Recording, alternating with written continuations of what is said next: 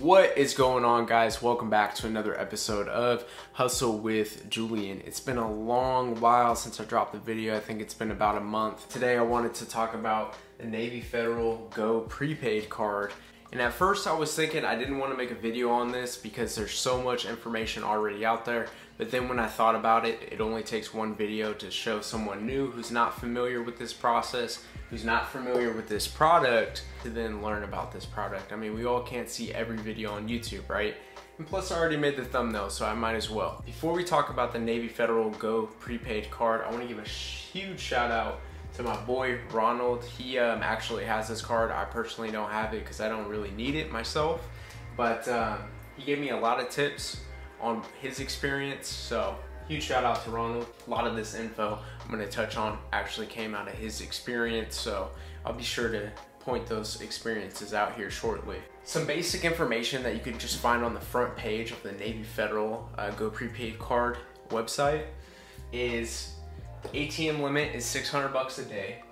You can fund other bank accounts that will accept debit cards, right? Just using the Go prepaid card.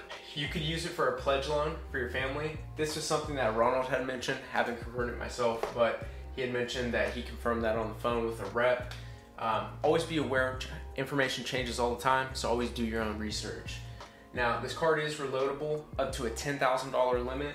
There's not a cash advance fee on this. This is not considered a cash advance as far as I'm aware, but even if it was, it's only a 2% more uh, interest on your money that you're gonna be borrowing. You have a 3K a day spending limit, and you can use this card to make payments on services like Apple Pay, Google Pay, or Samsung Pay.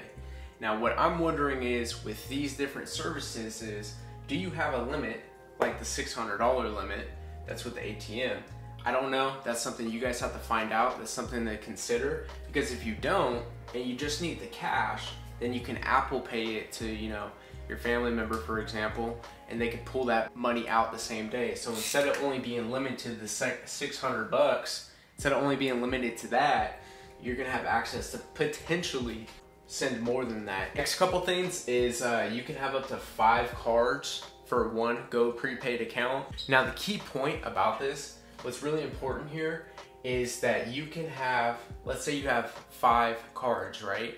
for one Go prepaid card and you set those up with your brother, your sister, your cousin, whoever, then they have a $600 limit that they can go obtain from that card. Let's say they go to the ATM, they your cousin takes out 600, your brother takes out 600, your wife takes out 600. Now you guys just got, you know, 1800 bucks in a single day, not even including the other two slots that could be filled up to five. So that's a key point there. Another big shout out to Ronald. He had mentioned he's doing that. I think he's doing it, he said three cards right now, not five, but just three. Why I would say this card is useful is it's, in my opinion, it's gonna be extremely useful for someone who's looking to use more of their credit limit than a cash advance will allow.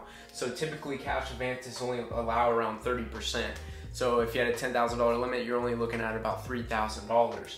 Now, if you want to get more than that, you could use a method like this. Specifically with Navy Fed, you can't use other credit cards to fund this prepaid debit card. You can only use Navy Fed. But specifically with Navy Fed, you can get more than a cash advance uh, will allow you to get. So you can maximize more of that. Another key point is just making debit transactions in general. Some facilities will not allow you to use credit cards for obvious reasons, uh, but you can use a debit card. And this would be perfect for things like maybe making some of those payments. One thing that Ronald had mentioned to watch out for is let's say he was saying there's a 5K maximum.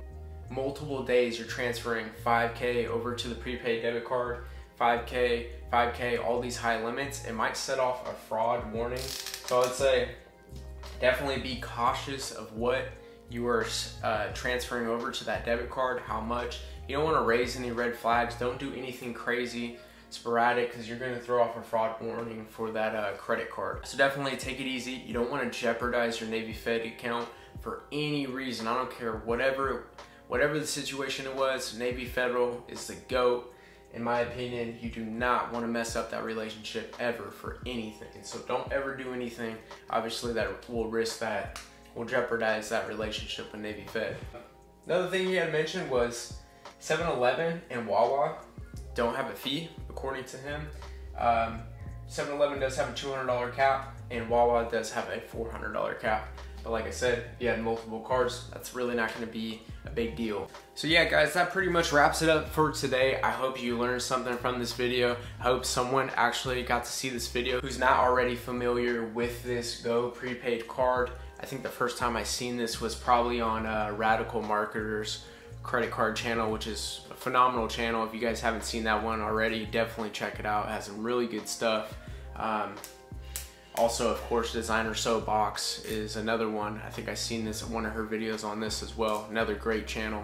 But yeah, guys, hope you learned something from this. If you did, don't forget to like, comment, subscribe, hit that notification bell, and I'll see you guys next time. Peace and stay hustling.